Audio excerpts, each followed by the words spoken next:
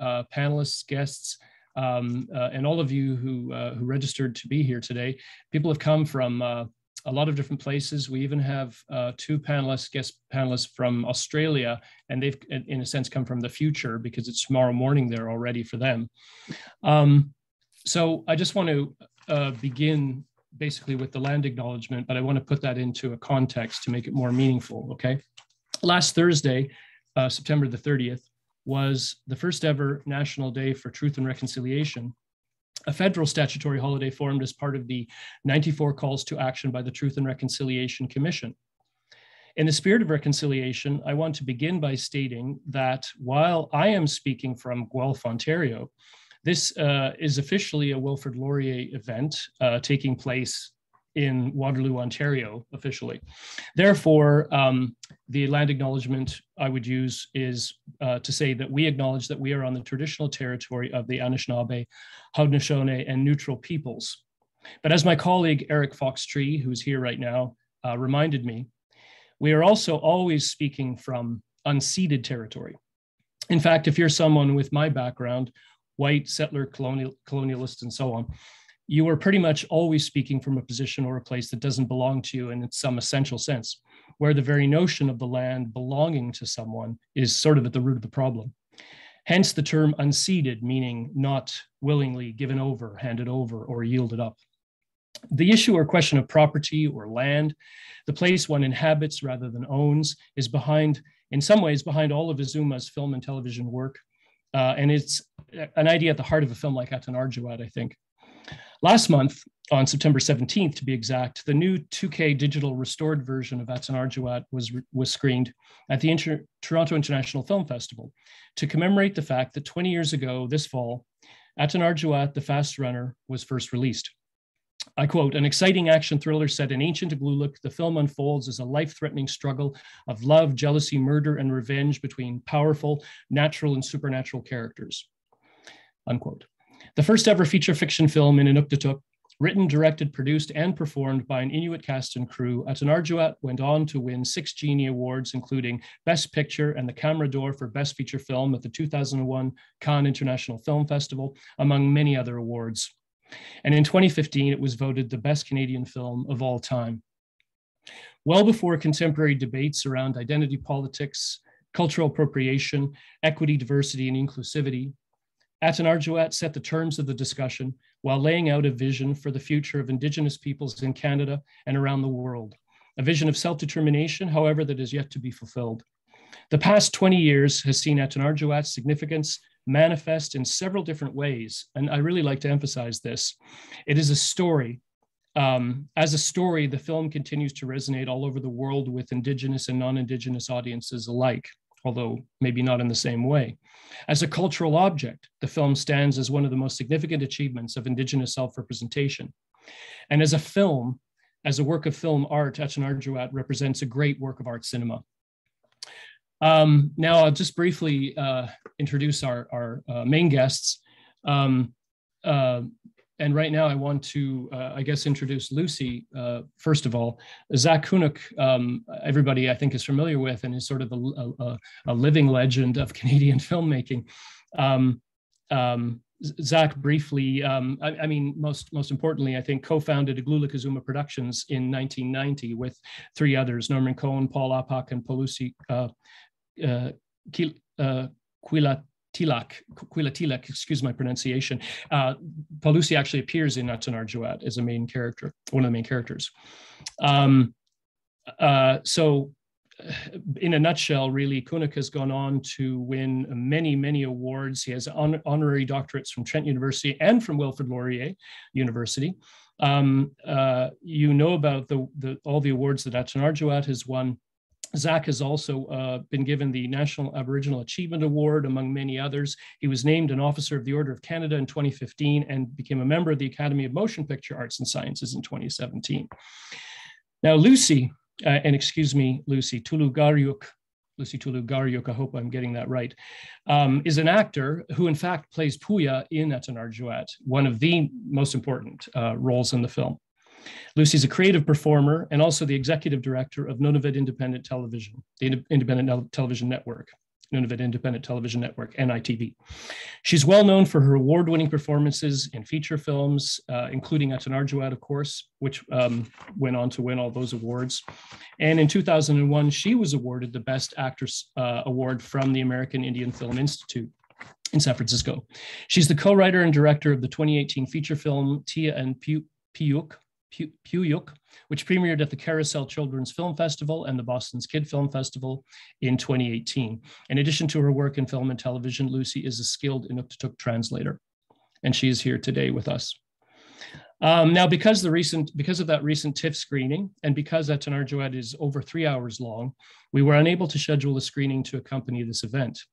Um, I hope, though, that everyone has seen the film already at least once. In the event that you haven't seen it recently, I want to just begin with one clip, uh, one brief clip. Um, it's a pivotal scene just past the halfway mark. Okay, so if you remember the story, Oki, the story's villain, wants to kill Atanarjuat, his rival for the same woman, Atuat. Uh, and he also wants to kill his older brother, Amak, Amak, uh, Amakjuat. The two men, the two brothers, are sleeping in their tent after a hard day of hunting as Oki and his two sidekicks sneak up on them. And this is also the scene where you see why Atanarjuat uh, is called the fast runner. Okay, so hopefully you will all be able to see and hear this uh, properly.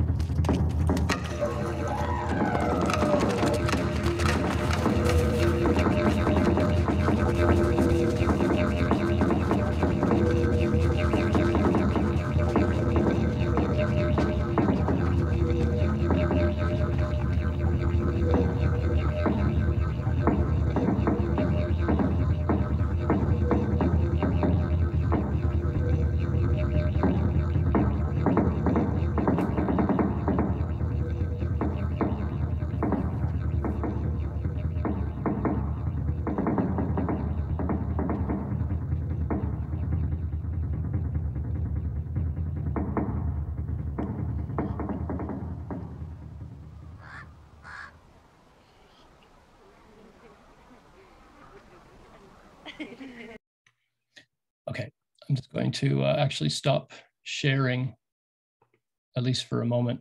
There we go. Now we can see everyone.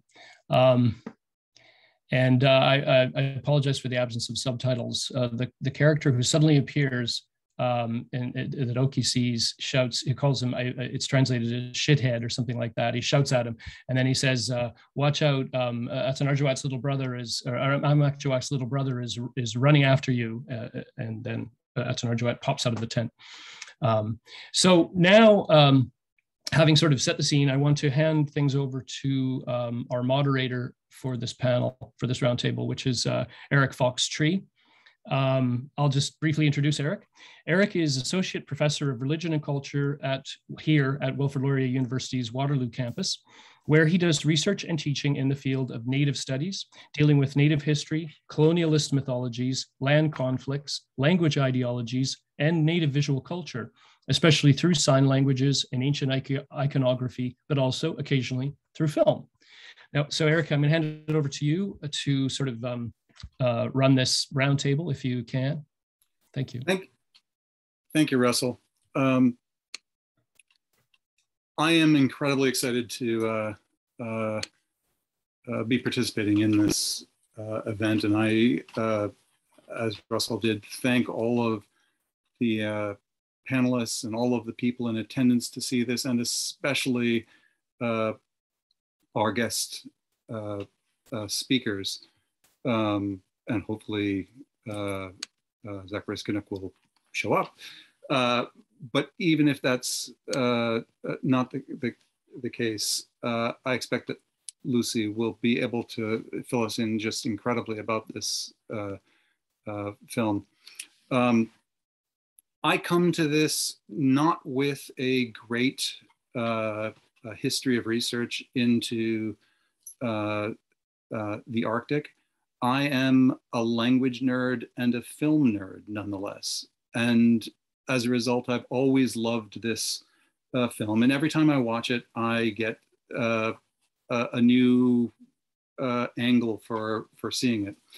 Uh, the most, having seen this in, in, the last few weeks, my most recent uh, angle for looking at it is the angle of uh, conflict between indigenous groups and peacemaking making between indigenous groups. And this is of particular interest to me because although I am not Maya myself, I have worked in the Maya area for uh, of Guatemala and Mexico for the last 25 years. My wife is Maya, and I am uh, uh, accepted pretty much as a member of the of the uh, two communities where I uh, work most uh, deeply. And one of those has been under attack from an indigenous neighboring group for two years. And for the last year uh, or so, I have been uh, on a uh, advising a peace uh,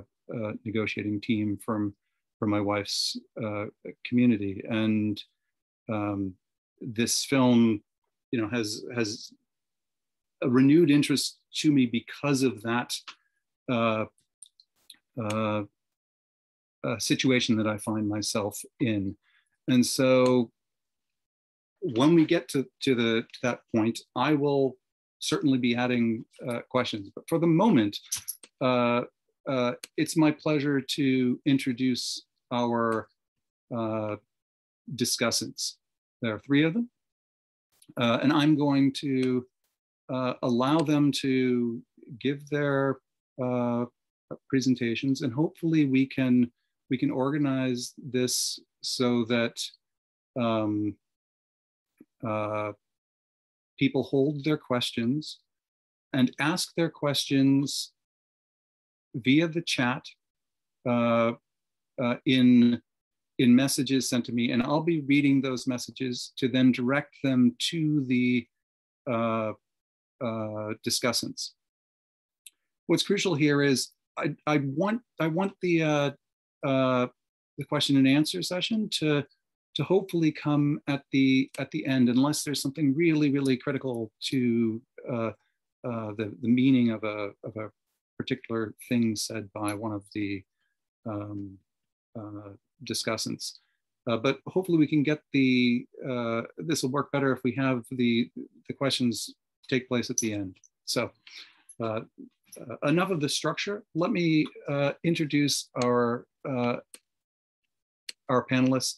I have the pleasure to introduce uh, Pauline Clague, who is an associate professor and manager of cultural of Cultural Resilience Hub Jumbunna Institute for Indigenous Education and Research at the University of Technology of Sydney, Australia and an advisor for the creative arts for Creative Plus Business, a Yaegl woman from North Coast, uh, North South Wales. She has worked for 25 years as a storyteller and producer of film and TV.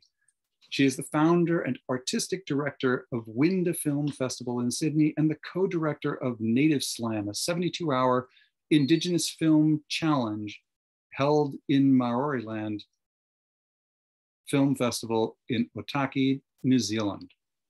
Our second discussant will be uh, Simone Bignall.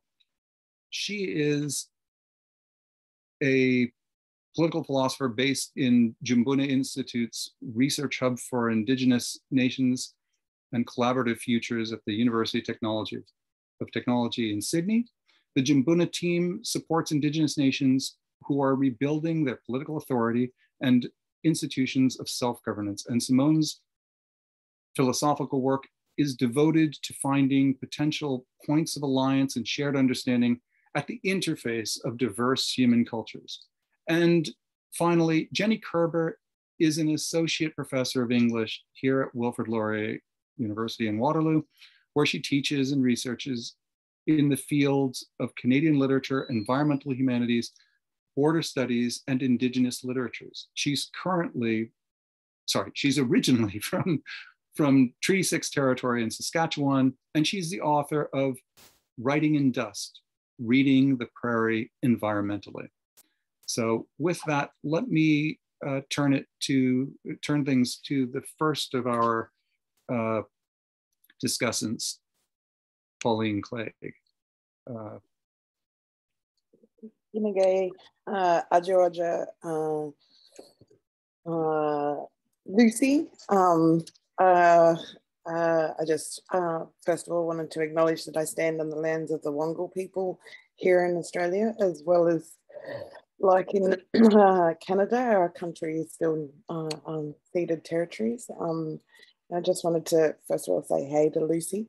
Um, I think um, one of the things that I remember, I actually found my diary um, from imagineNATIVE. I've um, also used to be a programmer at imagineNATIVE uh, in Toronto, and um, I was looking through all my files on the weekend and found my diary from 2001 when Arjuna first played at um, imagineNATIVE. Um, and I remember one of the things that really made me imagine the world was um, it almost was like the white ice was the red sands of our country. I felt like I was watching a cousin's film. Um, the story was embedded in this narrative that um, a, you know wasn't an observation looking into our culture, but an observation of someone that owns their culture. And um, it excited and engaged me to be really um, to look around the world and see what else was happening. I mean, you do, you do have to remember that that was a really exciting time for Indigenous cinema uh, around the world. Um, you know, we had you know, Zachariah coming out of uh, Inuit country, and then we had Niels Gaup coming out of Sami country. Um, Tracey Moffatt was here in Australia, and a couple of other big players, Merata Mita from New Zealand, uh, Alanis of Obswan was also in Canada, and um, Chris Eyre was doing smoke signals around that time as well. And so there was this sort of kind of, as one of the new wave filmmakers that was coming up into the world during that time. It was exciting to see that we could reach to the international market and we could tell our stories without being beholden to fitting into a structure that was a lens that was different to ours. Um, and I think that was, I, for me, that was a culmination of realizing that it was all right to tell the story with our lens. The fact that at times, um, I know Zach and um, Lucy, you know, Lucy herself is an amazing filmmaker, um, but the fact that they all supported each other and had a suma, you know, build up and created a space for their voice to be a strength was something that was happening around the world at that time. And so utilizing the like-minded I, I, I, say it here in Australia when I lecture, you know, uh, the reality of understanding that the niche of my world is a minority in my country. But if I include the rest of the world in terms of Indigenous, all of a sudden I've got a playing field that's 2 billion people. And I can play with that. And I think that's something that Zach has been able to do. He's been able to play in the Indigenous arena uh, with the lens that is a strength for all of us to recognize that we sometimes don't have to subtitle. I, I, love the fact that it wasn't subtitled, that we still understood the story with or without the subtitles because we understand it intrinsically comes from that land. And, um, you know, I'm still to this day, it's one of my, you know, to do list, bucket list things is to get up that way because that film inspired me to want to see that world in the same way that I would love for Zach to come to our side of the world and see our world. I know every time I've invited him to come to Australia, it's whale season or seal season. And so um, it's that thing of being able to really see the effect of that a film can change the conversation. And that's what I think Ajarnat really started to change the conversation about what was cinema. I remember when we, you know, first started imagineNATIVE, there was a really big discussion about do we let it just be Indigenous voices um, that be in the festival, and it was really important for everyone that um, it's our voices told in our way. Um, and I think, uh, you know, Isuma and Zach and Lucy and that team have created a platform for all of us to thrive towards as filmmakers. Sorry, that was sort of kind of like stand up and explode, but thank you, Eric, for allowing me to say that.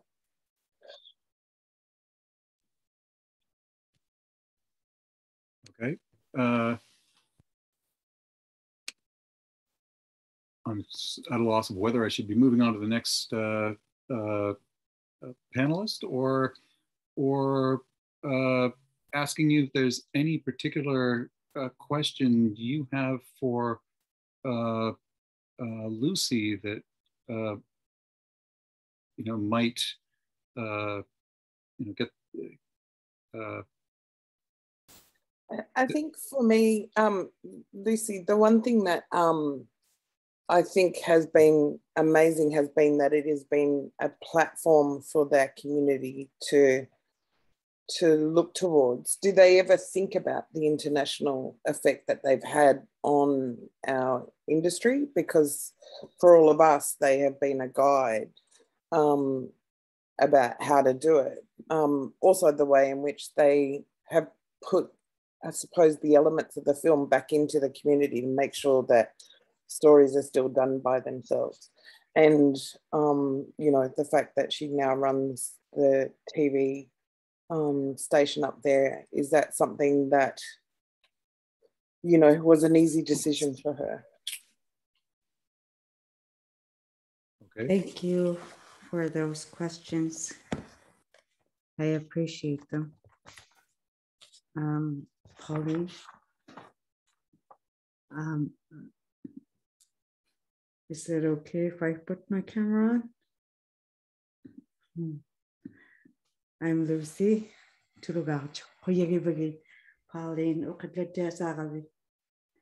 Thank you for your beautiful words.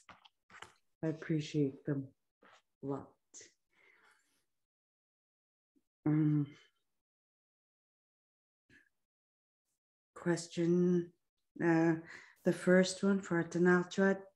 Um, I could say for on behalf of myself only of what I thought.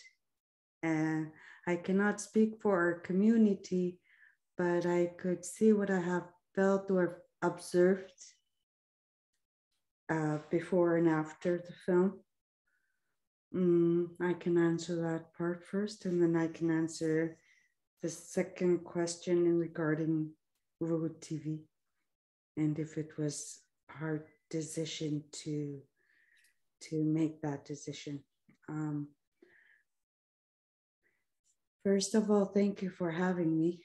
Lucy Tulugarjo, yung igluring mi utek si man naman siya mi tunga sivudlapat mi atanarjo mi pingmartio katorok si mayung ate sumani pivikakti torok si magamakuyerivunga ak sumariaro nunakjuak yung narawak ko kinguniegut sivudlakpanilo pingmartio нунарчуарпу такуйунналааракку кигуниагут аа сивуллерпаамиллу пингуартиуллунгаарерсимангмаат налулерсимаюнга канутиги ангиклитигиниармангаат нунарчуамуллу кану актуути қарниармангаа инуиқатитинну атчигиинги торулуяалуну пиккугиаалуга аа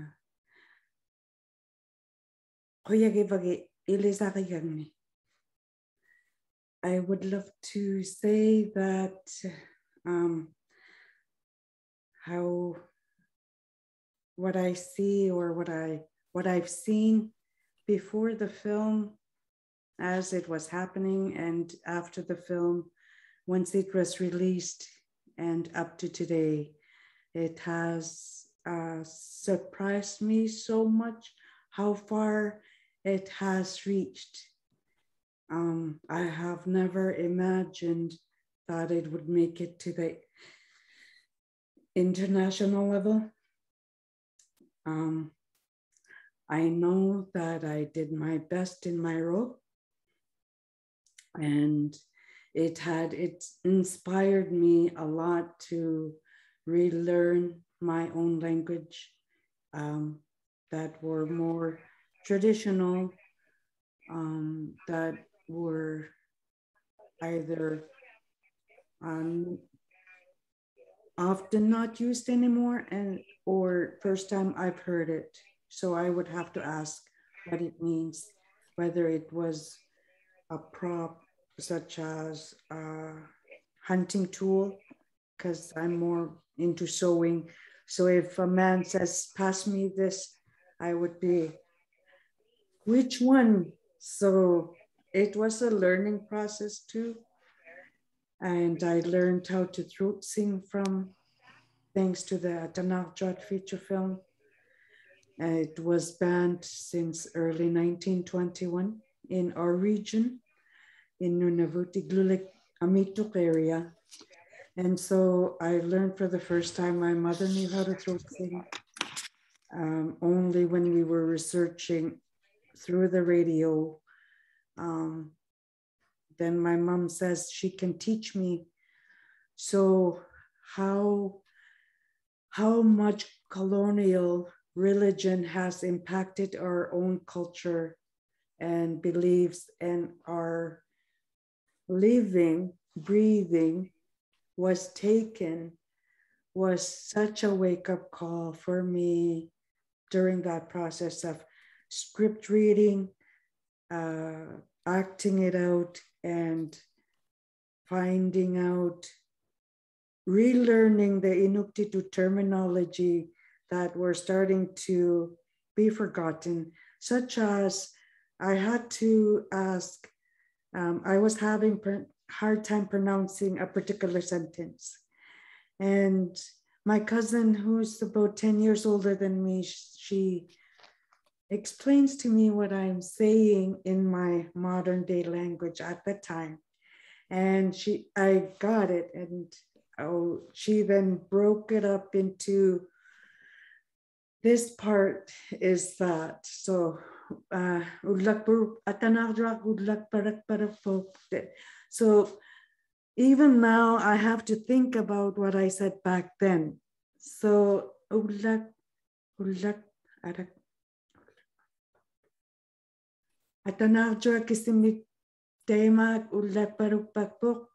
Something like that.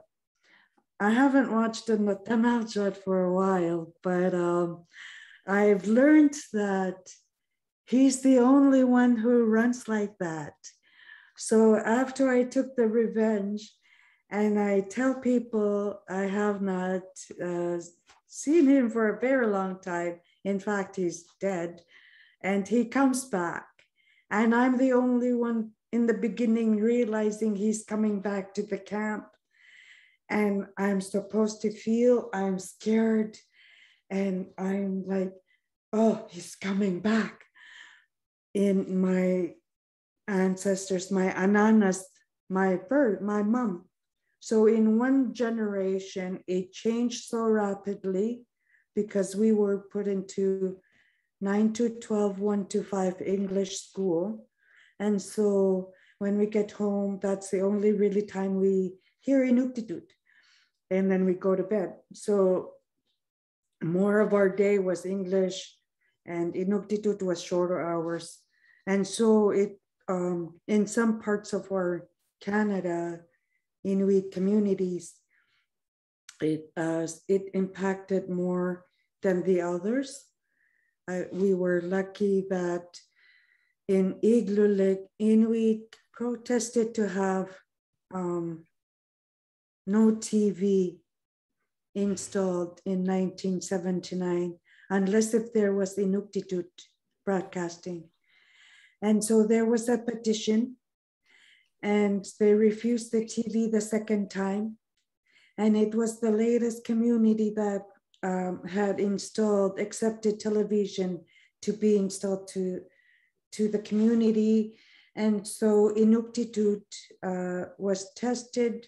They were given two weeks test to see if they can live stream three communities and they proved the government they can. And so Zach was one of those people in the background who created that uh, live um, behind the scene. I was already in Hall Beach where TV had already happened before Igloolik. So we would hear television news from another community before we even ever saw TV. So when I moved to Hall Beach, that was the first time I've seen TV. Again, it was all in French and English. So I wish that one day there would be Inuktitut program. And eventually there was a midnight buzz one day, one night, and I told my mom to wake me up to see the live stream from Igloolik, Iqaluit, and I believe it was in Pond Inlet. And they spoke in Inuktitut. It was all done by Inuit for Inuit. I've even asked to be woken up. And that was the first, um, wow, it can be done. I was only six years old, maybe. And so it was my um, spark of, I wish there was Inuktitut. I wish there was more Inuktitut. If that one show can go, it, I wish there was more Inuktitut. And then Inuit Broadcasting Corporation was introduced. And then Isuma was the first independent um, filmmaker, uh, feature film, making feature films. And so, and when we made Atanarjuat, that was the first ever feature. So I don't think the community expected a lot to, to have gone this far, 20 years of um, winnings and uh, acknowledgements and appreciations both from our own Inuit and from indigenous people all over the world and non-indigenous people. It really has been a big teaching film and open door, as you said, Pauline, um, and led believing that uh, we can make films, we can tell our own stories in our own voice, in our own props, our own costumes, and uh, anything is possible. I never ever thought it would be at the biggest top Cannes Film Festival.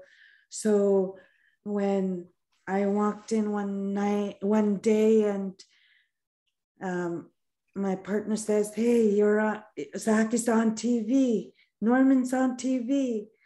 I felt like I was dreaming because I, they were live on Cannes Film Festival and it was unreal, but real.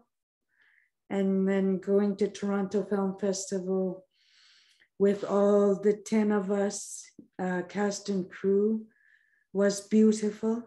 Um, inspiration, open my um, my window to where I am today, really um, inspiration from our elders, believing from our elders that have taught to us our language, our culture. Um, my mom, Anana Ganatikutuk, uh, she was my guardian, my um, teacher, my love, my angel on earth. And so was my atata, my father. They were both my teachers traditionally, traditional songs, legends, myths. Um, so my parents were my first teachings when I was growing up. But when it really came to the film, Isuma was the first to be part of in the film, acting for the first time. Um, and uh, I never knew that it would lead to directing my own film, uh, children's film. So anything is possible if you work hard to it for it. It doesn't come easy. You have to work hard. Some people often judge us and stereotype Inuit as um, lazy and drunks or uh, uneducated, but that's an old fashioned way of thinking. Um, the government has to put their responsibility and educate the rest of the world that we are updated, we are educated, we are not drunks, we are, a lot of us are sober, a lot of us are working hard, earning our income, bringing food to our table, paying bills, having internet. And no, we don't live in igloos because I'm still asked today if we still live in igloos. And that's how far the rest of the world has to update. Um, I live in Montreal now. Um, so I've been here for three years. So far, I've been asked three times, different random people, oh, you're from the North you live in igloos? so it's still teaching, um, it's still teaching the world, but uh, it has also opened up a lot of people's eyes, um, as you said, that um, we are not history, we are here, we live, we speak, we breathe Inuktitut, and we are strong and confident to be who we are because it was trying to be put down on us by Christianity, by government, by agencies, by residential school, by police department. Um, sometimes uh, people assume that was history. It exists today. We see injustice. We see um, stereotype a lot. But uh, after the unearth of babies and children in Kamloops, many people have turned their heads and realized that we were not telling lies after all. We've been telling the truth all these years since our kids were kidnapped, since our parents' kids were kidnapped. My, my, I have siblings who've gone through residential school. I saw my parents, uh, the effect of them um, being kidnapped and taken and come back for two months at a time for, let's say, from age three, four to 18. Some return, some don't. Some by choice, some by no choice and this is real. And some say that get over it. Those who are so ignorant, and I'm not sorry to say that, those who are too ignorant to face the fact that it exists and there are no higher power than anyone, than Indigenous people. We're all human beings. There is no inferior, there is no superior. Why do we treat the dogs better sometimes even if they're small, big, husky, house pets. We love them as humans. And then we see our own flesh and blood. We judge. Why? Colonel, colonization. Um, miss teaching, the society what was not right. Our, my own grandfather, my father, I grew up with, he had taken me to a site where he said, Kunutilu vaniti tulaw si mayuhuk. Now yano ajak. I was 11 years old. That my father, my little sister, who was six at the time, if I'm 11, and we, uh, my father took us to this site. Knut Rasmussen, in his uh, fifth expedition, he notes two young men brings us from Igloolik to Repulse Bay, Nauyat. So Atata, my father, I'm 11, and he tells me, Kunuti tunuti luti tulaw si mayugumani.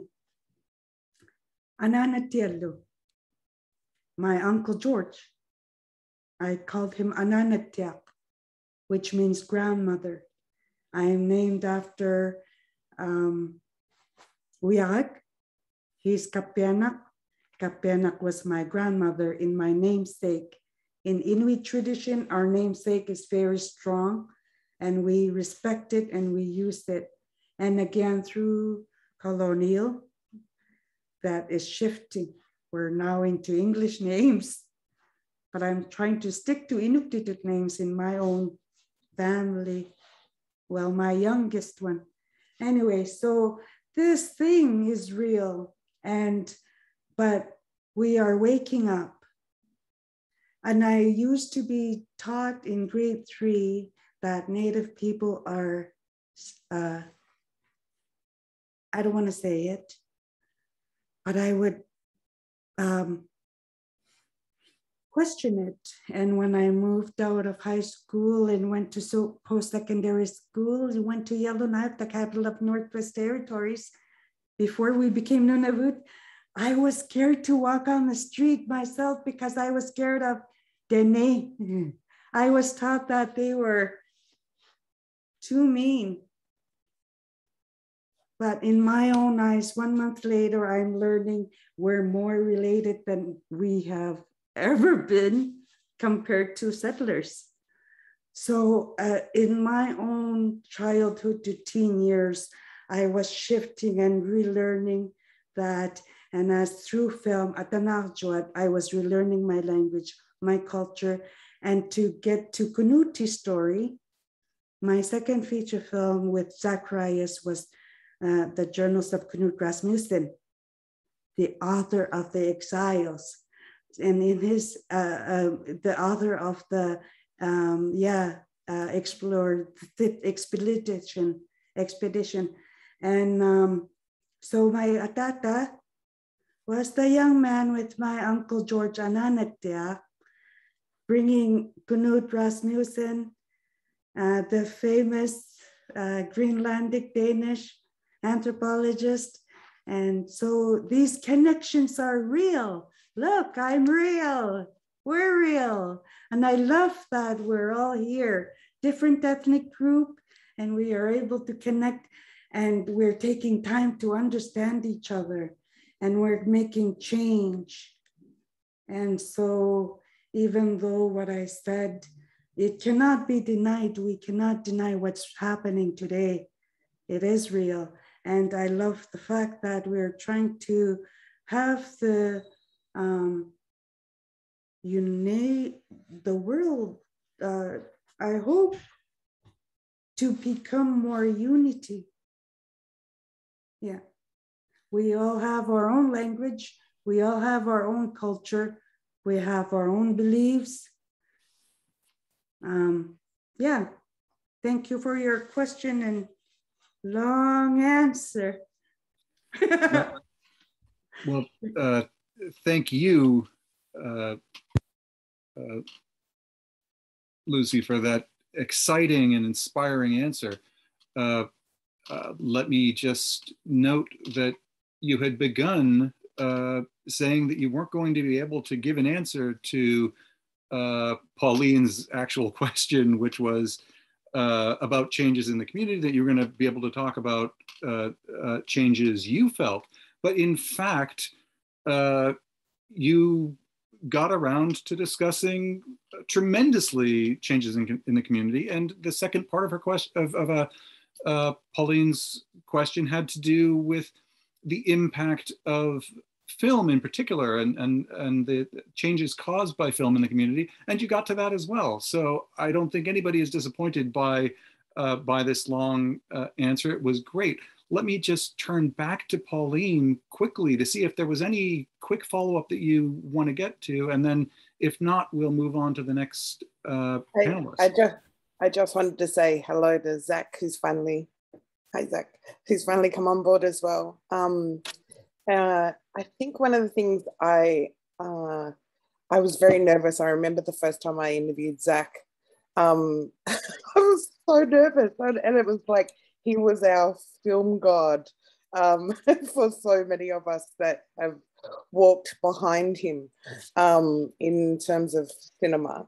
Um, and one of the things um, I would like to say to Zach is, I've learned I, I actually think he's one of the people that has made me redefined decolonization and using the word indigenization. Because if we indigenify you know he he actually didn't there's no decolonization going on. It's just the indigenous story being told. Um, and so that truth of that space has been something that's been really rich in terms of the body of work that um, Zach has done, but how Atanarjuat allowed us to just breathe in that space um, and to watch the film with or without subtitles, as I said before, you were able to still capture the story of the of, of the land and of those people. Okay. Uh, welcome, Zacharias. Uh, uh, do you have any uh, a quick response to uh, Pauline's uh, remarks? I, I, didn't hear her question, but I was late trying to log in. I'm in oh. Uh, um, I'm 200 miles of the Arctic Circle, so I have little problems here and there.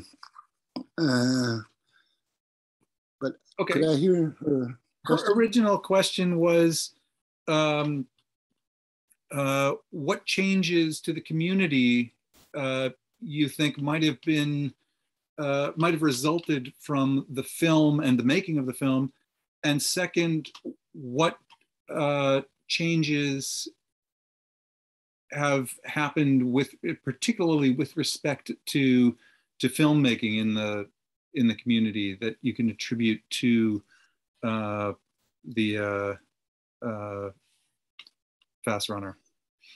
Well, me for, me uh, for asking. Um, you know, we live up here in the far north, and um, for us to work up here uh, in the North Arctic Canada, where where Canada is from St. John's to Vancouver, but we're up here in the Arctic, so we're out of the loop sometimes. Um, and this, uh, when I, I was born on the land in 1957. When I was five years old, I walked out of our sod house and I walked through our ice porch and I go outside and I thought we were the only people on earth. Definitely I was wrong. but when I was nine years old, I was sent to Igloolik uh, to learn English, and in the community hall, they used to show movies. And we tried to sneak in and we tried to carve soapstone and sell it so we could go to movies. And that's how it was. And when I watch movies, I thought they were God sent. Uh, it just happens in a good story with a good ending. Um, we never knew how many people worked behind the camera. We didn't even know there was a camera. Uh, but when I went to school, in my social studies, I learned about Africa. I learned about giraffes. I learned about elephants, monkeys, and tigers, and whatever animal they have there. Animals that I will never hunt in my life. So when I was growing up, I was so interested in my own culture because my culture is, it has everything. Stars have names, the land has names in Inuktitut, stars have names in Inuktitut, um, and we all have names in, uh, and beliefs and stories. Uh, like Lucy said, when Christianity came 100 years ago, here in Igloolik, we've been here 4,000 years. Uh, Christianity came 100 years ago, and you can't compare 100 years to 4,000. It doesn't balance at all. Uh, but um, for us, when we learn these movies are made with camera and actors, we went to work um, in 1997 uh, we started, I mean, we were doing short documentaries uh, before, um, but we want to move into a bigger, ambitious project like a feature film. Uh, we did, I mean, we were just learning. In 97, uh, we applied uh, for funding. Uh, we kept asking in the, in the Canadian film system. Um, in the 90, in the 19 97, the film financing system was not, not made for us. Uh, it was made for the English and the French. Um, so whatever other was, that's where we were. Uh, other meant immigrants and Aboriginal people of Canada. And when we looked into our envelope, uh, there was a $200,000 in there to make a movie and then another hidden 200,000 uh, as the system is like that. With 400,000, you can't even make a movie. Uh, so we made a lot of noise and I think they wanted to shut us down. So they gave us some year-end money and we went to work. I remember when we started Atanarjuat uh, with late Paul Apak, uh, who was the director of Atanarjuat, and I was in second in command. Um, we ran into a brick wall for in the film financing world. We had all the elements of a feature film. We had murder, we had sex, we had jealousy, uh, rape. I mean, we, we, we had it. We had a good story. So uh, and they started to ask me how, I mean, if you want to tap onto the English envelope, uh, could you dub your Inuktitut to English? I mean, uh, your actors are Inuit, but could they start speaking English?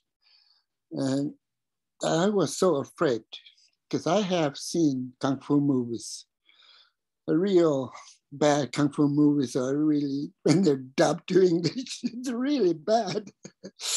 And I knew that uh, we were going to come out like that. No, we can't do that.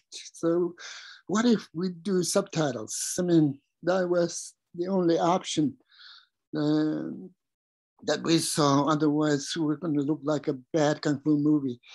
Um, so, when we we put this community to work, I've never seen so much cooperation in a community, elders working with young people, um, elders that are born on the land like me, uh, who stitch caribou skin just by measuring you by with their hands and string.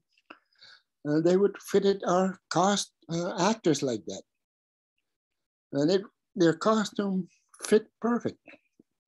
And I didn't want to mingle because up here in the Arctic, there's so many, it's so big. And everywhere we go, we go central, it's a different dialect. If we go to the west, it's a different dialect. So I didn't want it to mix dialects. Um, so I we just used Igloolik area dialect and Igloolik costume design. Um, and we went to work. Boy, we didn't even know the conventional shooting days of a feature film. Uh, now we know it's 21 days, but when we went shooting, we shot and shot and shot. It took us a whole year with a few months off here and there because uh, this story happens in the four seasons. Um, so we were working hard, working hard. We finally, finally finished the film, and and this is our. You know what? We were gearing up uh, because in '97, we when we went after financing, we sort of got kicked around. In '98, we're running out of time because in 1999, Nunavut territory was going to be carved out of Canada. And the idea was we're going to come with a movie. So we were rushing, we were rushing, we're late. And none of it happened, and our film opened in 2001. So we were two years late.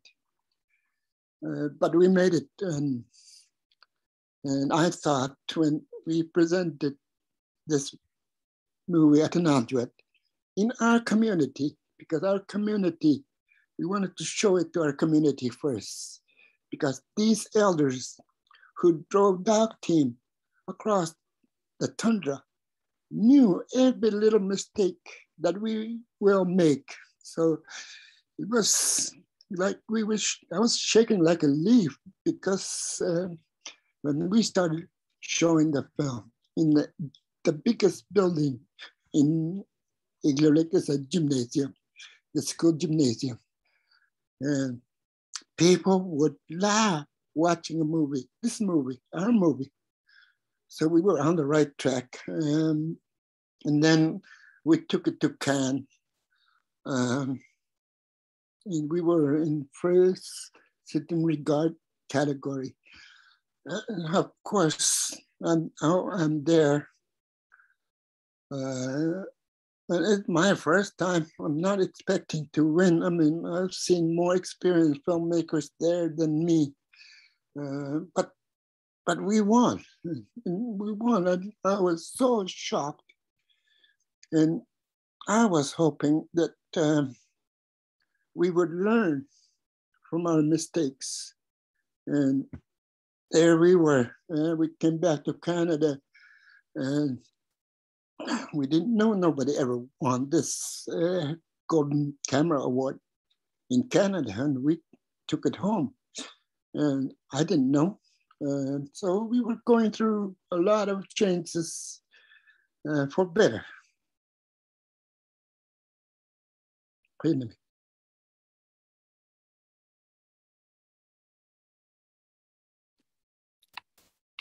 Thank you, Zacharias. Um, I think I'm going to uh, move us on to the the, the next discussant. Uh, that would be uh, Simone Bignall. Uh, what would you like to add to our discussion here? Uh, thank you. Thank you so much. Um, look, let me begin by saying how honored I am to be here. I'm grateful, of course, to Professor Kilbourn and, um, and to you, Eric, and to um, your co-organizers for planning this very interesting event and for inviting me to attend today. So uh, Wilfrid Laurier University stands on the traditional territories of the Anishinaabe, Haudenosaunee and neutral peoples. And as a virtual visitor to this place today, I'd like to thank these nations for their hospitality and to recognise their continuing sovereignty and cultural authority. And I'm joining you uh, from the traditional lands of the Kaurna people in what is now known as Adelaide in Australia. And I'd like also to acknowledge and respect the unceded sovereignty of the Kaurna nation on whose lands I live and work. Finally, of course, I would especially like to thank Zach and Lucy for the opportunity to discuss uh, their wonderful film, um, Atanarjuat the Fast Runner, and before I offer my thoughts on their film, I would like to acknowledge the cultural authority of the Isuma Collective and the Igloolik community and the Inuit people of Nunavut more generally um, as keepers of the traditional Atanarjuat story. So I know that for uh, the Indigenous peoples of the Arctic North, colonialism comes from the direction of the South. I'm here today as a, as a non-Aboriginal political philosopher from a place so far south that it, it, you know, it's, it's Australia. As you might know, Australia remains one of the most severely colonised parts of the world. Our settler colonial governments have never entered into any kind of treaty agreements um, securing the sovereign self-governance rights of First Nations. And this situation, its, um, its continuing legacy of profound injustice has shaped me as a thinker, as a non-Aboriginal thinker, um, and as an activist. And it informs the perspectives that I want to bring to this discussion today. So as I said, I'm a, I'm a philosopher. I know very little about um, cinema studies or you know, technical aspects of filmmaking or cinematography. So my contribution, the contribution I'd like to offer today is focused really on the conceptual content of the film. You know, it's, its political promise, its critical capacity, and what I see as its socially transformative potential as well. So, you know, what then makes Atanarjuat such a, you know, such an extraordinary film, such a great film, such an important film, um, you know, in my view?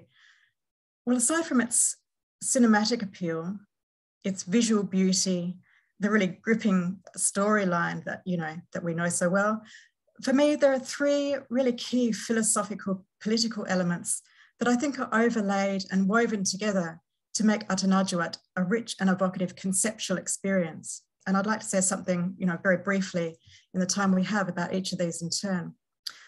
So firstly, and this has been touched on by, um, by Pauline, Zach and Lucy a bit so far, Atanarjuat is very obviously an exemplary cinematic work of Inuit storytelling and self-representation addressed in the first instance to Indigenous community viewers.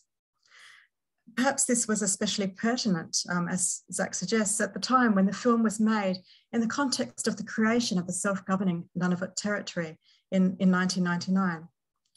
Um, so Atanarjuat, the Fast Runner, can be seen above all else, I think, as a strategic exercise of the kind of cultural revival and resilience work that is a primary element of Indigenous nation rebuilding and political resurgence.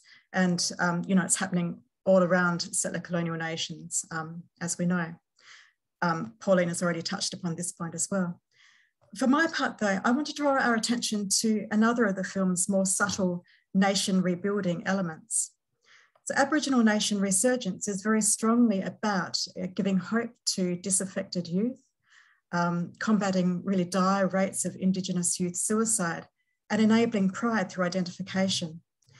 I know um, that in some of your early interviews, Zach, uh, you explained the importance of this motivation to you, you know, giving, giving youth something to hold on to. So I see this film as really remarkable for the way it offers hope and conceptual resources for Inuit people, both young and old, um, as they or as you address the colonial present with all its distresses. And although the film is set in the pre-colonial past and you know, Western or, or Southern presence is nowhere indicated in this film, I was really struck by how the film, even so, seems to offer an allegory of, of colonialism. You know, conflict is, is brought to the community by a stranger visiting from outside. Um, who introduces a kind of split to the group so that one group begins killing, scheming, manipulating relations, cheating, lying, raping, and being pretty generally abusive and disrespectful. So if this doesn't mirror the behavior of settler colonial governments and their institutions, then I, I don't know what does. Also in the film, the second group of people comprising um, you know, the extended family of Tulimuk and Pitiluk and their sons um, Amar, Amaqjuaq and uh, Atanarjuat, this group really bears the brunt of this beha bad behavior of the first group, but they carry on with life as best they can. And eventually they manage to restore a kind of peace and balance. So the message here, I think, to the younger generations is, you know, we Inuit have the cultural resources and the ancestral knowledge to deal with intergenerational social trouble, like colonialism like brings us. Wrongdoers will get their comeuppance. Those who are mistreated and hurt can with time become a force of reckoning. Just keep being strong and strategic, tread the right path as our traditions and elders instruct, and don't give up hope. So um, the second thing about the film then, for me, is that it's not only a particular tale grounded in Inuit traditions, which speaks directly and explicitly to the specific people of, of Igloolik and, and of Nunavut. It also tells a story, I think, about the human condition more generally. The film contributes, in my view, to international understandings and appreciations of potentially universal values of right and wrong. And it offers models of reprisal or retribution, reconciliation and forgiveness that may well find application applications in other situations of human conflict. And I, I, thought it was very interesting at the start when Eric was talking about the significance of the film for him as a kind of model for, for peace building um, in the context of conflict. So to quote uh, Mr. Zacharias Kunuk himself, the film amply demonstrates that Igloolik artists at the millennium have something to contribute to national and international discourses in media, art, culture, and communication. Some reviewers and scholars have indeed celebrated Atanarjuat the Fast Runner as a kind of Homerian or Shakespearean style epic of universal significance. And they might also have, but to my knowledge, haven't, compared it with epic tales from outside of the Western tradition, you know, such as the ancient Indian epic of the Mahabharata, which um, sort of deals with conflict uh, within a family or between families. That they didn't um, sort of reference these non-Western um, connections, I think says something really meaningful about how settler colonials think about universality in ways that are actually pretty parochial and Eurocentric. Writing in um, 1952, in his landmark text, Discourse on Colonialism, the Haitian poet of negritude, Aimé Césaire, scoffed at Western universalism, saying, at the moment, it most often mouths the word. The West has never been further from being able to live a true humanism, a humanism made to the measure of the world. And I think the false universalism on the part of the West remains evident in some of the commentary uh, about the film that accuses Indigenous cultural activities of lacking authenticity when they connect with national and international audiences and aspirations, and seek to integrate in traditional perspectives with contemporary sensibilities sometimes, of course, using new media technologies and with funding received from, um, from settler colonial states. So I find this both amusing and also concerning, disturbing even. It is as if such critics truly believe that Indigenous cultures can only ever be authentic and deserving of consideration when they are fully traditional and particular, bound as they often are to defined territories and, a set of, um, of ancient customs that carry forward into, into the present and the future. And conversely, then, only non Indigenous cultures, in fact, only Western cultures, it seems, should be considered properly universal in their expressions of what it means to be human. Of course, you know, in reality, all human cultures adapt over time. And so all are at once contemporary and at the same time, they contain the legacies of their pasts and all are at once particular to a place and at the same time contributors to global humanity. If Homer's epic was universal in its themes, it was also undeniably Greek. Likewise, if Atanarjuat is a story that is particular to Inuit and insular in its focus in that way, its themes are nevertheless common, I think, to diverse human societies across the globe. So this brings me then to my, my third point of reflection about the film. Um, for me, Atanarjuat is not only an exemplary work of Indigenous nation building through the medium of artistic production, it's not only an articulation of the human condition from the cultural perspective of, of humans living in Igloolik, but it's also a really wonderful example of what we call, um, what we're starting to call post-human cinema. So post-humanism is critical of the Western tradition of humanism that was the hallmark of Enlightenment thinking, and it kind of underpins that colonial ra rationality.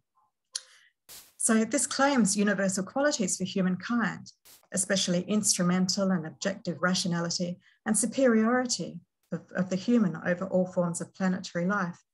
But actually, Western humanism is narrowly about the Western values of the white man rather than universally relevant for all peoples everywhere. The film Atanarjuat presents the human experience of being Inuit as an alternative narrative to Western imperial humanism. And in so doing, I think it contributes to an expanded notion of human achievement that is more genuinely universal in its scope, more made to the measure of the world. In all its real diversity, of course. And as the film shows so strikingly, part of this alternative expression of what it means to be human is a vision of human life as intimately interconnected with the natural world of, ice and wind and animals and deeply dependent on it rather than ideally separate from it and dominating over it. This emphasis on relationality is, I understand, common to Indigenous ways of being and knowing. Um, it's common to many Eastern philosophies of being. And it's also common to Western posthumanism as a critical strain recently enjoying new prominence within the tradition of Western thought. So those are the three things that I, um, I draw from the film and why I find it so inspirational and conceptually compelling to me. I'll leave it there now so we can open up to questions. Thank you, uh, Simone. Um, let me uh, then turn it over to uh, Lucy and Zacharias to see uh, uh, if you have anything uh, to say in response to uh, Simone's statement.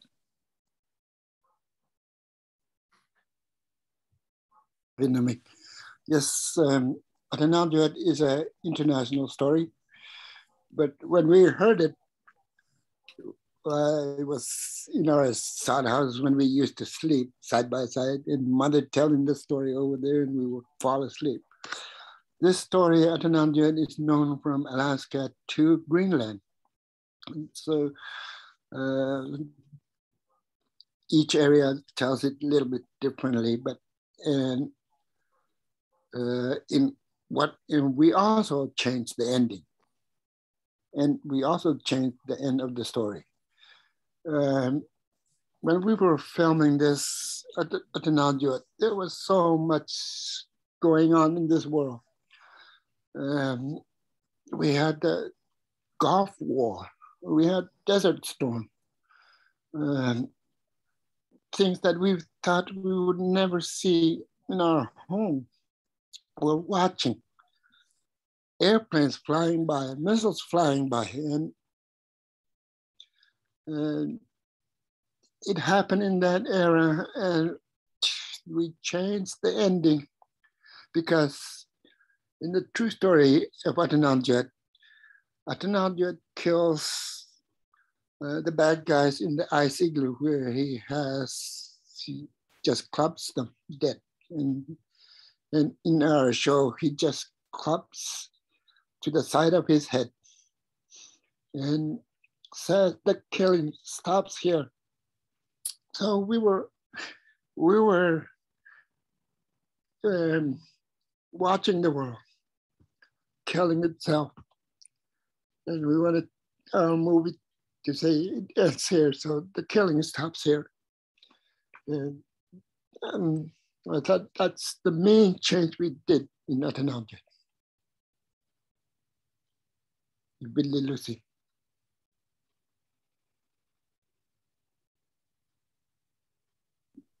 I I think it was like you said earlier, or was it uh, Pauline. Even with no subtitles, everyone understood it. It's a human feeling, human um, that is recognized of all emotions everywhere, all over the world. So um, I think it's about time we have to start um, understanding that uh, Aboriginal people are no different, really, than non Aboriginal people. We're all humans. Inuk means human, Inuit means people. So that's a beauty of our culture and our language. That's what I could say.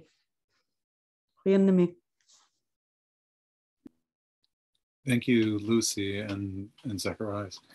Um, I want to uh, get back to uh, uh, a point that Simone uh, raised about uh, the film being uh, an anti-colonial story. Do either of you have some input about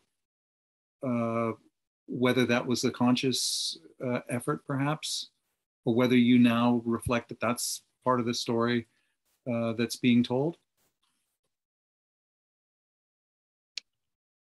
I remember when we first came up with that and everybody thought it was a documentary. Um, because they've seen documentaries of our culture. They thought it was a documentary. Uh, but how could you have documentary when you have sex and cheating wives and how, how could that be documentary? That's all I can say.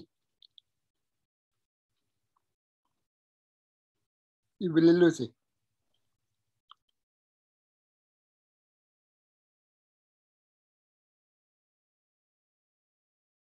Lucy? Sorry, what was the question again? Um, uh, I, I, wanted to know if either of you had uh, uh, something to say about uh, Simone's comment that she sees the film as as engaged in an anti-colonial uh, discourse that or, or a a uh, uh, that it's a description of colonialism? I think it's both. Um, I say that because um, uh, Inuit is, uh, even though I keep saying we are human, we have to combine and understand that we're all humans, but we all also have our own identity and regions and treaties and, um, you know, uh, dialects. So I answer both ways that I love the fact that we showed the world who we are as Inuit, as um, First People of Canada. And I also love the fact that when we walked out of Toronto International Film Festival, the first premiere we've ever did and to see line up that lasted a long line of all different faces and one right across from me she had tears and clapping and i could see with no words that it meant a lot to her. And that moment i realized how powerful it really was to present this film and to see it beyond and to present it in different film festivals, international level or national level, um, even in our communities in Nunavut. Um, many people have learned from this film, Inuit and non-Inuit. So I think that it's both yes answer that we are, um, we have produced Inuit story by Inuit for Inuit and also for the international as humanity. And um, so, yes, that's my thought. It's lovely to hear you say that, Lucy. I should, uh, and, and the reason is because the first time I showed this film in a class, I had students write an essay uh, for that class where they had seen a whole bunch of indigenous films and they were supposed to write about the relationship of any of those films to colonialism.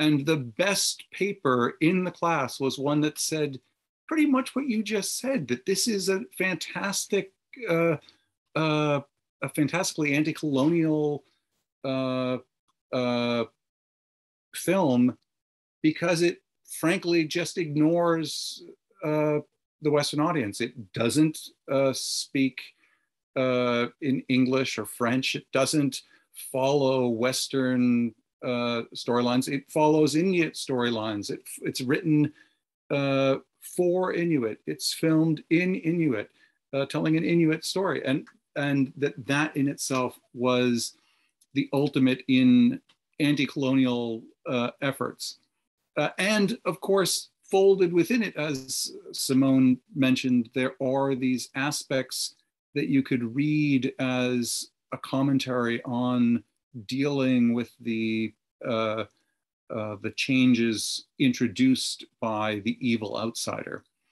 Mm-hmm. Um, but I'm really uh, uh, excited that you gave that that answer.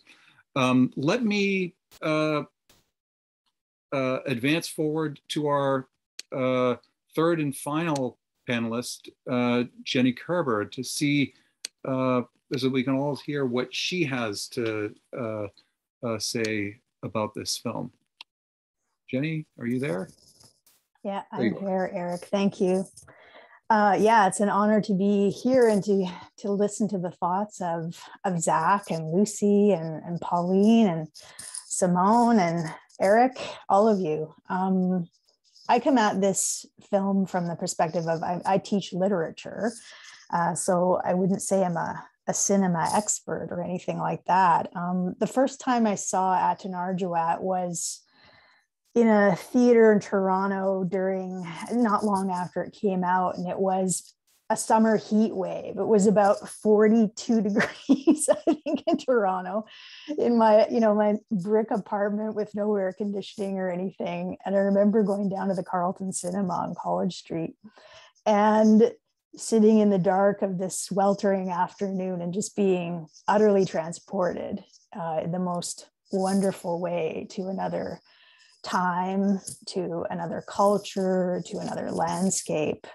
And um, yeah, that, that experiences will always be etched in my mind. Um, I'm speaking to you today from my sort of pandemic quarters here. I live in Tkaronto, um, which is the territory of many nations, but including the Mississaugas of the Credit, the Anishinaabe, the Chippewa, the Haudenosaunee, the Wendat, um, and of course, now it is home to many First Nations, Inuit, and Métis people as well. Uh, in terms of, you know, thinking about the film and things I'd like to just ask Zach and Lucy about. Um, I mean, one, I suppose, one thing that struck me watching the film again last week was the way that it explores leadership, you know, and what it means to be a good leader or maybe not a good leader.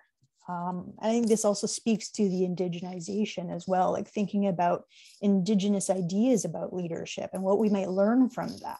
You know, I'm a settler. Um, what do you think that the way leadership is talked about in the film reveals about Inuit ways of knowing and doing things? And how might the ideas of leadership explored in the film apply or not to the Inuit context today, say as you, Zach, and, and Lucy see it. Um, a second thing that you know struck me again so much about the film is, and Simone talked a, uh, some about this, is just the the prevalence of animals and, and animal life and animal kin. They're just everywhere in this film. It's terns and snowy owls and a walrus heart that is fed to those two young boys at the beginning you know where where they're told they're going to they're going to help us one day or the rabbit foot um, the rabbit's foot um, and many other animals besides seal hunting I, I was just wondering if you wanted to talk or reflect a little bit about you know the significance of animals in the film for you and and maybe for teaching, you know, as well, youth about relationships to animals, um, that kind of thing. I just sort of leave that that open for you to think about or or talk about as you see fit. It just struck me how important animal life is to who Inuit are, right? And um, so, yeah, that may be something to to think about. Um, and then the other thing that I was noticing was the role of silence or not speaking amongst certain characters at really key moments in the film and certain situations. And I was wondering if if you would like to speak a bit on the role of silence, how you tried to film that, or you know how that was written into the script or how much the actors kind of took the lead on interpreting that um, but there just seems like to me at key moments there's this importance of remaining silent sometimes um, yeah and uh, i know Panikpak especially you know she remains silent at these very key moments so yeah i'll i'll just put those questions to you and you can take them up as you wish or not You guys don't need me. So Lucy and Zacharias just, you know, Mhm. pipe right in. Ivika, and you Yeah. Okay, the, I'll take a crack at it. The word of silence. Um, in our culture, uh, we watch and learn. Um, we don't ask too much. How do you do that? How do you make that? We don't really ask those questions. We watch. I watch my father building a sled. He's tying with sealskin rope. But I know how sealskin ropes are made, so I don't have to ask that question. But the way he does it, ties knots, and just watch. And when I'm growing up, I'm trying on my own. Whoa, I remember this, how he made it. So it's mostly watching. We watch and learn. We watch and learn because up here, there's no trees up here. There's no, our culture never had paper, never had anything to write on. So we watch and learn all the important deals like marriages and deal, hunting buddy deals are all done in the head. So if you break up deed, shamanism was the main tool.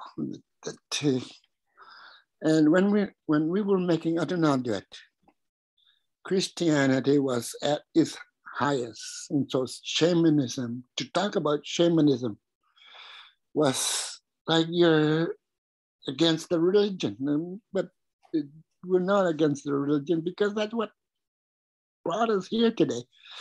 Um, and all the oral teaching that we get from our parents. Don't hunt more than you need. Don't forget, don't hunt more than you need. But we see in this world we're fishing more than we need. We're,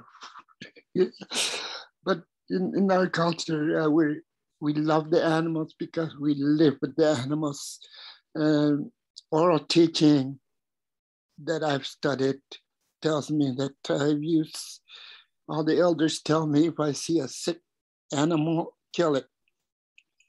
Uh, there's lots of seals up here. I'll shoot one, I'll shoot two, and don't shoot anymore. Um, these are oral teachings that are passed down to us. Um, so we're very limited, but Christianity has no taboos. Shaman have taboos. But when Christianity came, everything was broken, so we could break taboos. Uh, and we started to live in limbo. Uh,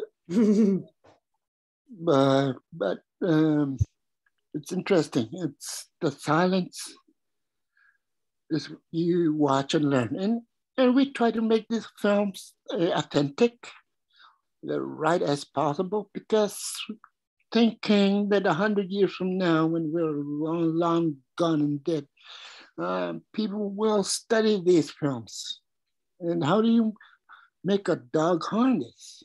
Well, you watch our film. Uh, that's uh, the silence we put in the movie. It late, Lucy. Even today, people are studying our films. Um, I would like to mention that in Zach said in 100 years, people will watch our films and study it. Yes, that's true. But people are still watching our films, studying from it, and universities are using our film to teach about Inuit and indigenous people and language and you know it's been used in universities um, college high school uh, internet so even my daughter who's in university now first generation um, to be in university she was a baby when we were making this film so she was going to be the first uh, baby Puja in the first feature film. And now she was uh, calling me one day quite um, she's uh, she says my instructor is trying to teach me about the Inuit, and I'm Inuk, and he says I I have to listen and learn Atanarjuat, the Fast Runner. And I told him I am in Atanarjuat, the Fast Runner, in the beginning. If you flip the last page, you'll see me and my mom. So um, it really has. Uh, we're at the stage where sh- we're shifting now my baby's the, uh, the first one in our generation in my family tree anyways to be in the uh, university level and learning and presenting this is our people. This is from my hometown. And um, and correcting some phrases the instructor may have said because he or she may not ever have stepped up north and they say they have the degree, master's degree in Indigenous studies. So, really, you want to learn? Check us out. We know the facts, we live it, we breathe it, we eat it. um, and some people are really against animals. We love animals. It's in our culture to respect animals. Like Zach said, take what you need and leave the rest for later so that you're not running out and leaving the rest for the generation not to have some. That's not ever in our culture. We've always been taught as little kids, you respect insects, animals, sea animals, um, because the life cycle is unity as well. So if you disrespect the animal, the karma can come back to you. And that's the Inuit belief. And it's still practiced today. We still practice it today. We love our food. We respect our animals. And we share what we catch. We make garments. We use, we worm. We're worm um, and we don't do with use it every day nowadays. When we go out on the land to go fishing or caribou hunting, we may switch to our modern clothing, store-bought clothes, or some of us still use caribou outfits and sealskin outfits, or combined together. So to us, Inuit culture, animal is part of our living so we dare not disrespect animals because we fear that it can interrupt us in the moment or in the future, my children or our children's children. So we strongly believe, even today, that we take what we can from the land or the sea and we respect the insects and every bird. And so that's what we do it, it's the elders maybe that may not be respecting that because I don't know, maybe they've lost their customs. I don't know.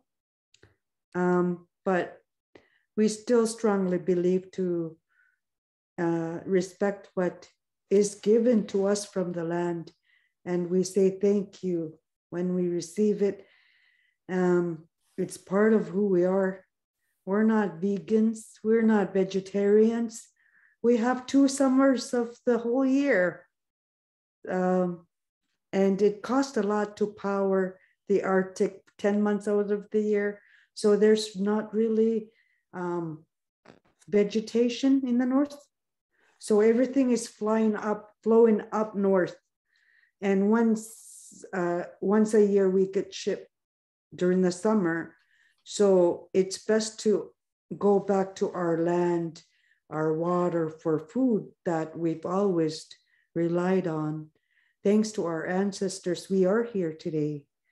And so I'm proud to say I love country food and I respect all animals that is given to us. And I hope I have passed on that respect to my children and now my grandchild. Mm. Thank you, Lucy and, and Zacharias. Um, uh, let me take a step back to the to the first of the three uh, uh, issues that Jenny Kerber had raised, and and ask uh, either of you if you could say anything about uh, the representation of of what leadership is in the film, or perhaps to phrase it differently, uh, what do you think the film tells us, the viewer, about how uh, Inuit leadership is either the same or different from uh, the way that leadership functions in the rest of Canada, or second, how, whether it is uh, the same or different from what people think of as universal notions of, of leadership? What makes a, uh, an Inuit leader special?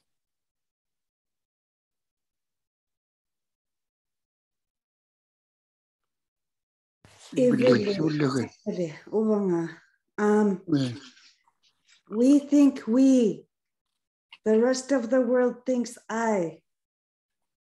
That's the difference in Inuit, we think about um, as a whole, the village, the community, whether it may be, or a camp.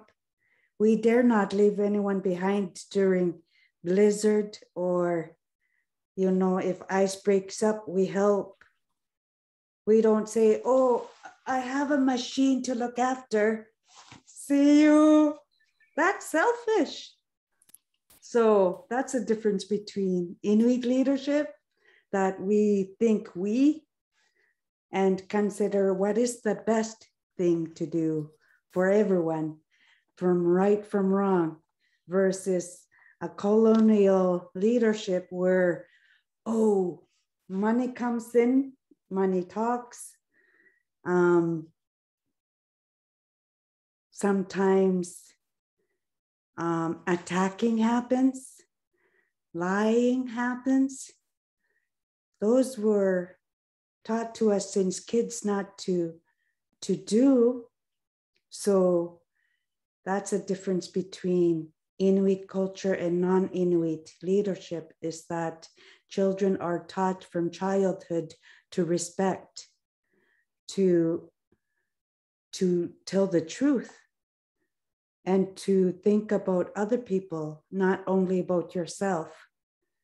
And if that is uh, the structure that saves family, the community that has survived for millennia, it is still going to survive for more millennia, I hope, because that's what how our ancestors survived. And I hope that we will continue to practice that belief that we, we must help each other for the best to survive, to live. Um, and not just be stingy, not be I, it's best for me, forget about the rest of what other people think. But as a whole, if it may be a, a home, a community, a city, a country. So that's how I can answer. Thank you. Thank you.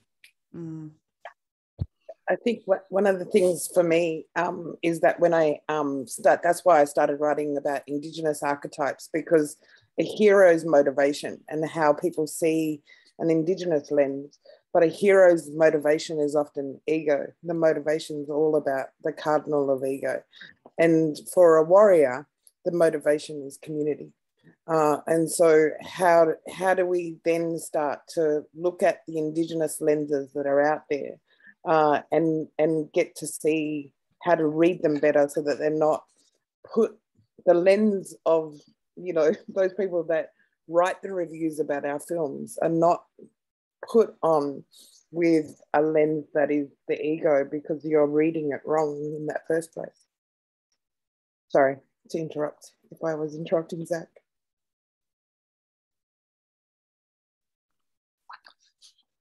To me, um, I've never really heard about Inuit leadership when I was growing up because oral teaching taught us that you have to respect people that are older than you. You can't even say their names because uh, you call, call them by nicknames. Uh, but that refers to the shaman world. When in those days, when you speak somebody's name, an elder's name, what if there happened to be shaman? They will hear you and they will see you anywhere you are. And it's bad, it's danger for you. Uh, so we had to respect, but when Christianity came, we forgot about that. Um, leadership was like our elders are our leaders, but in, in the Inuit hunting culture, it's a hunting culture best hunters are leaders uh, because because in, in my community we're walrus hunters we hunt walrus in the dead of winter at minus 45 and imagine before guns they would only hunt them with spears and there's a whole art of hunting and what you're supposed to do. And the Inuit knew that. They had to know the weather, where the weather is coming from. And they had to know uh, what to do. I mean, it fascinates me the walrus hunter who runs on a thin ice, runs on a bouncing ice. I mean, I ran on a bouncing ice and I fell in. But, but how do you, how did I do it? I asked, how did you not fall into the uh, uh, ice, through the ice? Well, just watch what polar bears do. They spread their legs when they're on thin ice. That's what you do. So, uh, best hunters would be leaders. And in the community, of course, there would be um, um, people who are poor, mistreated. Uh, of course, that happens uh, because uh, when there's too many people, there's too many mouth to feed. And of course, some got left behind. But in, in the oral teaching, we are told to watch out for these. Watch out who is being mistreated. So you treat them fairly. So leadership in the Inuit culture, because we're always traveling around the land, like little pockets of families are on the land. So their bosses, the father is the boss. That's in my time, that's how it was. He's the boss, he's the hunter, he provides us food and he builds our house and keeps our house warm and makes a sled so we can go sliding down on the hills. And uh, so I think was little, little more little leadership. And when there was a starvation, it happened. People starved to death out here in the olden days. Uh, but they're always fun. They're always fun because the clan and the leader in the area sends people searching for them.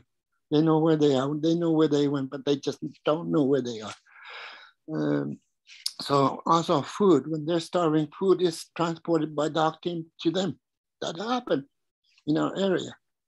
So it was sharing, um, leadership was more distant. Uh, you, you wouldn't see your leader for a long time, maybe two years, three years. So in our, in our area, uh, there was this starving woman, who starved, her family starved to death, and she survived, and she became the leader in the area because, and her leadership meant that every hunter bring their skins to her and she distributes them to women. So every man will have good clothes, every children will have good clothes. So that's how leadership was for us.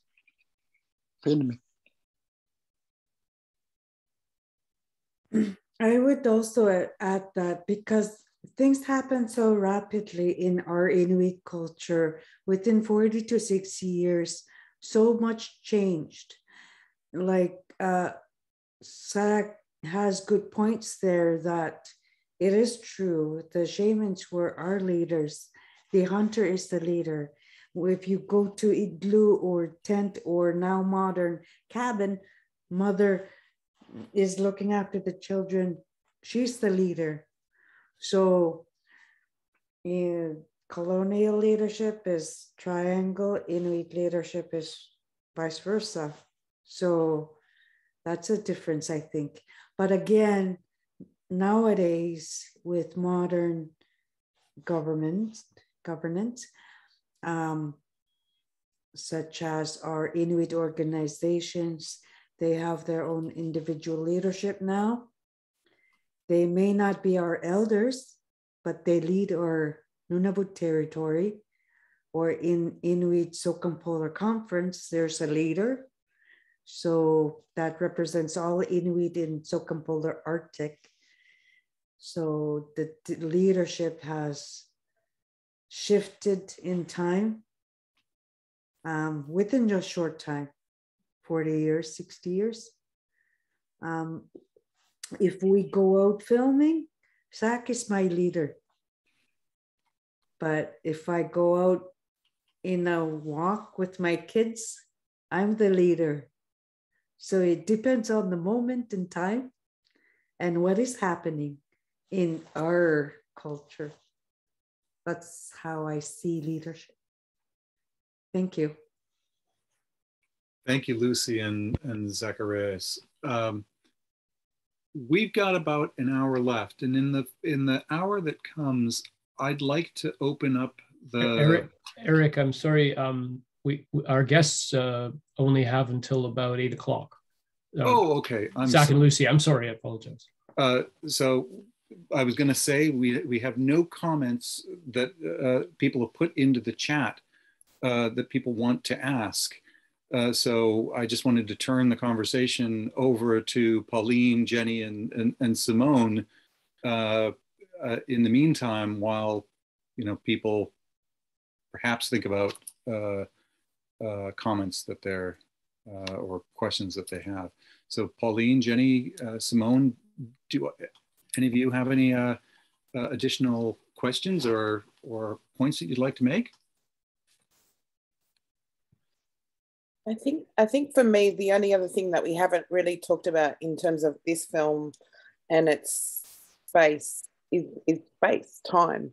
The fact that um, past, present, and future in this film sit in the same space at all times, like most Indigenous films.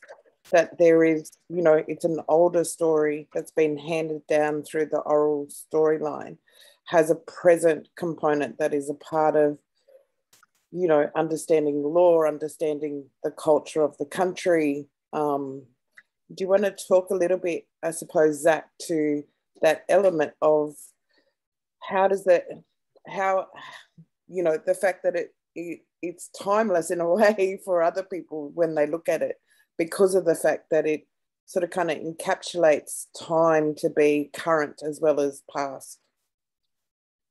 Sorry, that's a very big question.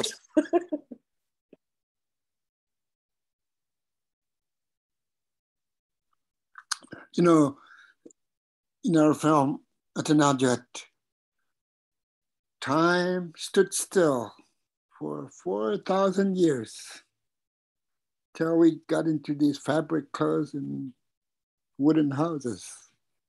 Time stood still. All the clothes were made the same.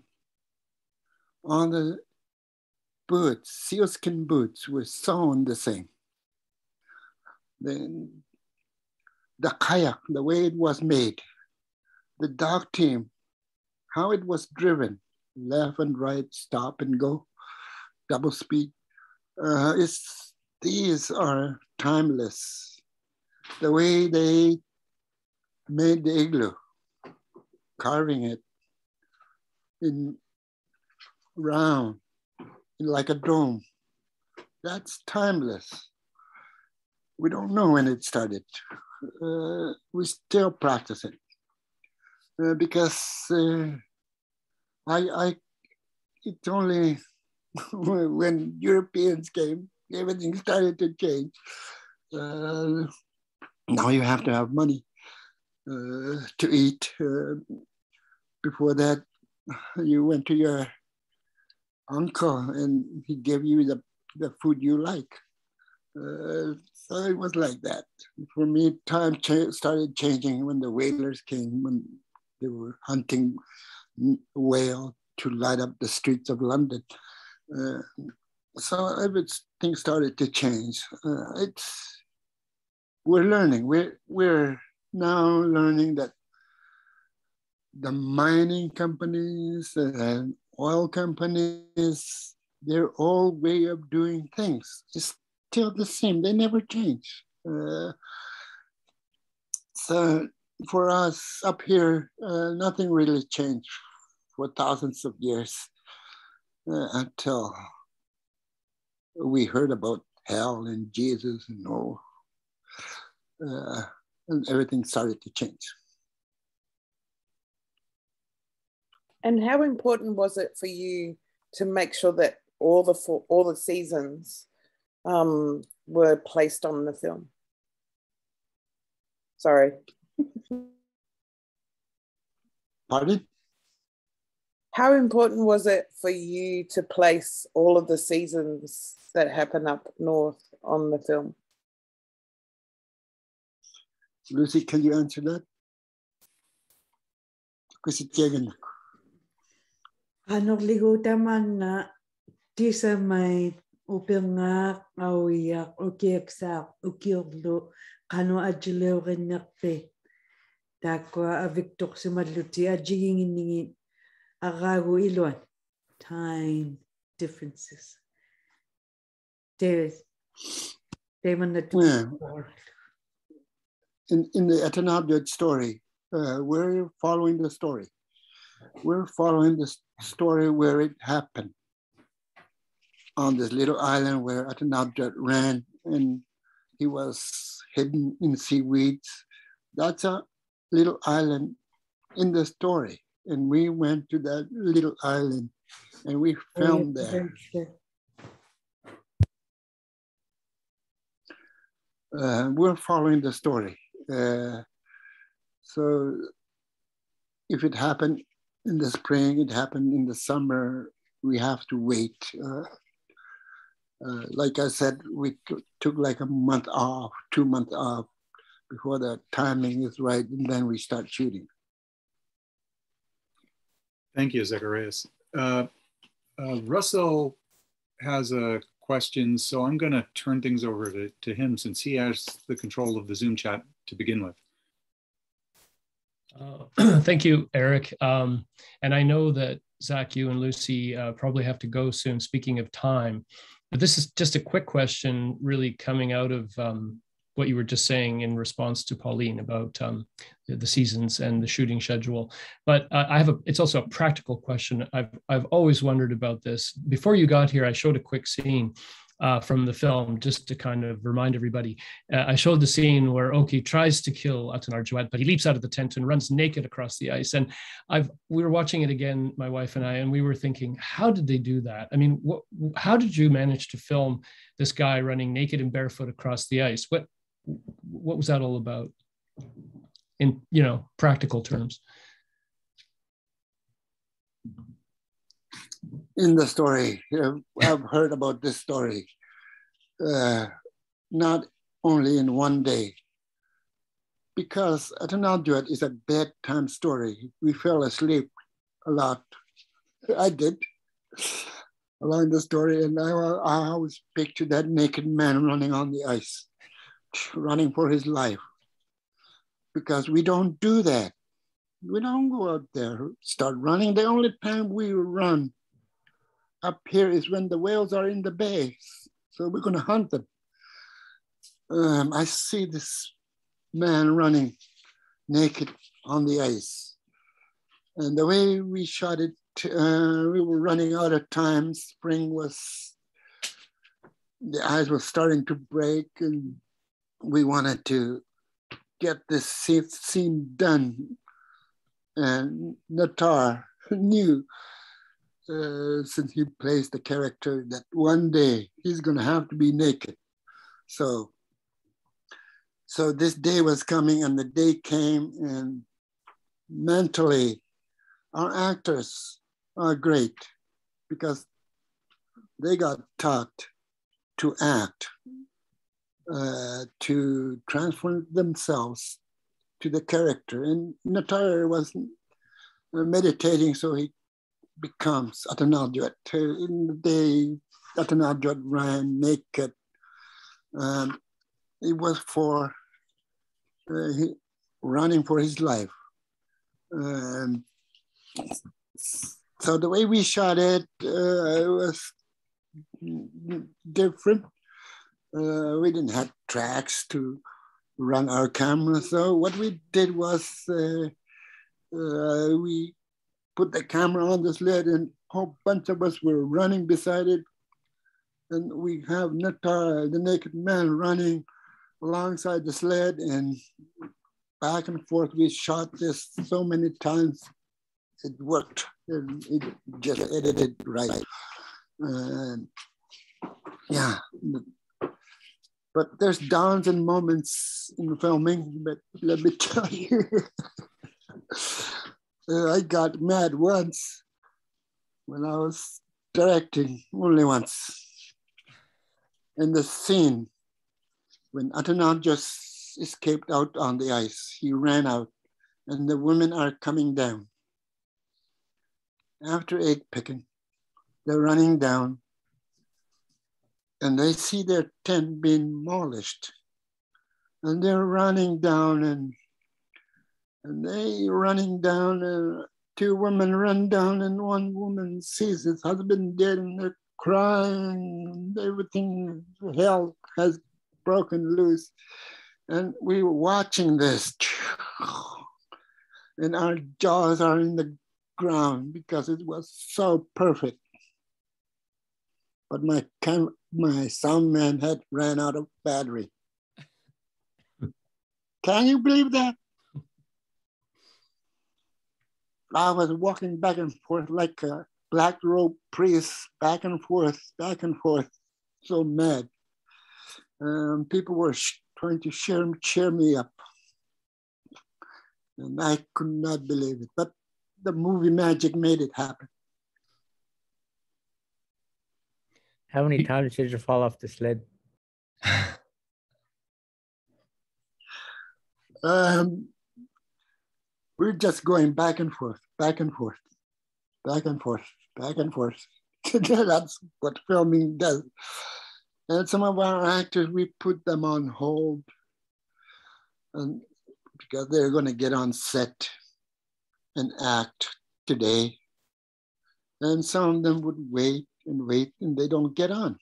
So their mind is somewhere fishing or hunting. And here they are wasting their time waiting to get on the set. But that's film, filming is, and everybody was working. Everybody was working. But Lucy. И а гиу кануу апеккутоо саарту. What was that question again? Sorry. Oh, it was very specific to Natar, who couldn't make it here today, uh, unfortunately. Uh, it was just about the experience of, of having to run naked across the ice, which uh, still I think is one of the most amazing scenes in all of world cinema. And I'm not, I, am not exaggerating. Um, uh, I'm in, with respect to your character, Lucy. I'm stunned that Puja has become a grandmother. I have I have a hard time processing that. Uh, but congratulations. Um, I don't know. I don't want to keep you guys longer than you can be here. Do you have time to take a question from the audience? Uh, I don't know if there are any, but it's up to you guys. There are a couple of questions from the from the audience. Um, hands or in the chat? In, the, uh, in chat? the chat. Rachel, did you want to say anything? I see you have a a comment.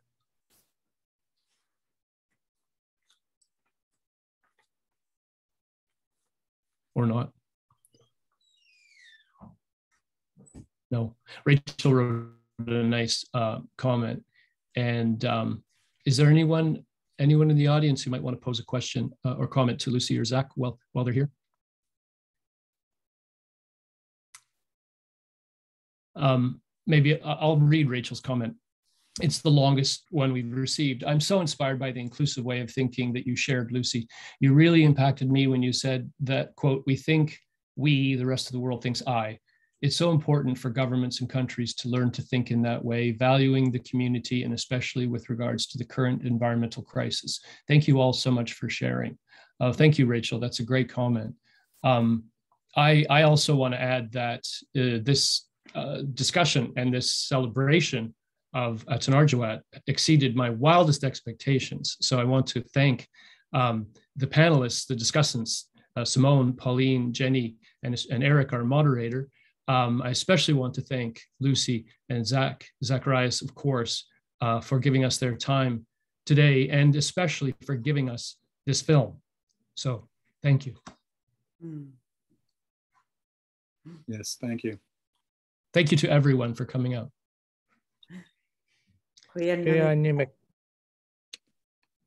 Hmm. And good night. Good night. And good morning to our Australian guests. Thank you, everyone. Yay. Thank you. The weather must be hot over there. What's that? We're getting there. The weather must be hot in Australia. Yeah, warming up, which is nice. I suppose you're you guys are probably heading into whale season, aren't you, Zach? You'd be getting close to heading into hunting season right right now we're in the fall season, so I'm a little bit sick because of fever. uh, so it's uh, gray time of the year, snowing, freezing up. Nice. Hmm. Well, hopefully I'll see you all in um Canada or imagineNATIVE, or you come down here. We I know we've talked about that, Zach, trying to get you to come and hunt a couple of kangaroos. I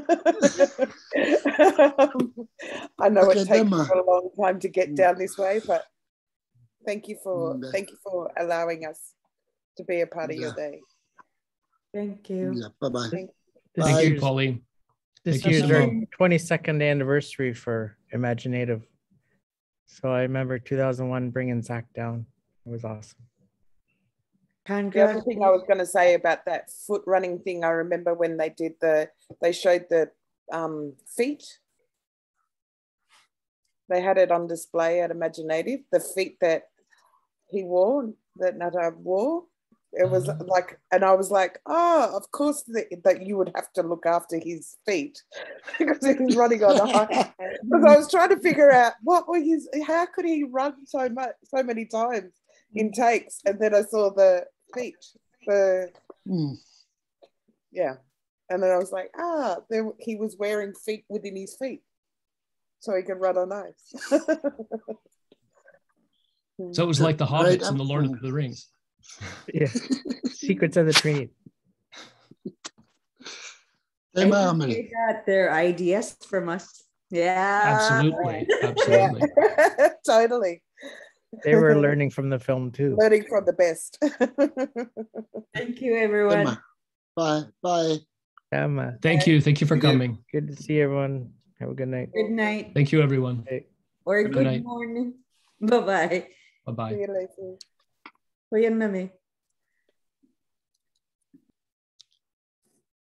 Thank you, Simone. Thank you. I should note Um, that for anybody who's uh, uh, interested in seeing how this, how the film Atanarjuat has a, uh, uh, as somebody said, is simultaneously in the past, future, and, and, and present at the at the same time. You should watch the Spanish translation, which is what I had to watch uh, the other day because I couldn't find my personal copy of the of the film and they have done the translation so that uh, when you see the translation for the second half of the film, they're just repeating the translation for the first half of the film, but it amazingly fits what's actually going on. So they'll be talking about a character in the first half of the film, but it's the second half of the film, and it's it's like a memory of what's happening. It's it's completely bizarre. You know, it could not be that they that they planned this intentionally but it's but it's showing how well timed the film was so that the second half was sort of repeating the lessons learned in the first half and it's pretty amazing to to to see it How strange. So it was subtitled in Spanish.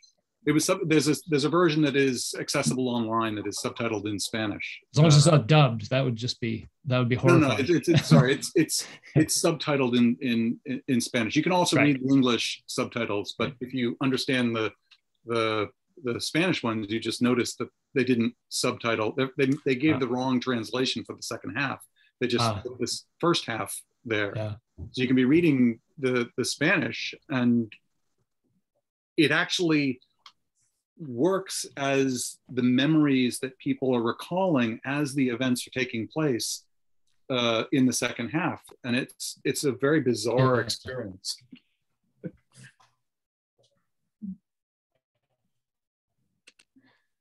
Yeah subtitles are these films have uh, absolutely minimal subtitles and there are many scenes in all their films that are unsubtitled right? Where people are just talking and the non-Nunavut speaking viewer has no idea what they're talking about and they don't care. Um, i think it's great.